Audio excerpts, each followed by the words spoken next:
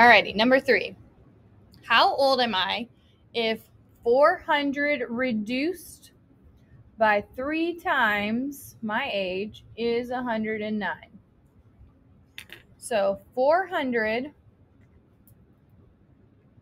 reduce, what does reduce mean? Minus. Three times my age. So we're looking for age, right? So our variable is age. So we're going to do minus 3 times my age is or equals 109. so if we go to solve, this is what I want to get alone, right? So let's subtract our 400.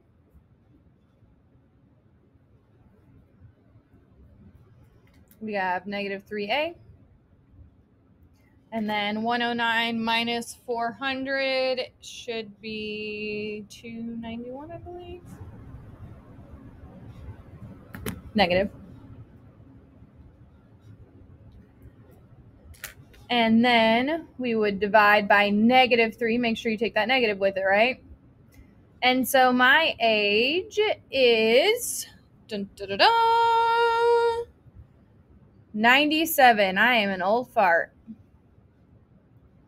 So 97 years old because A was age.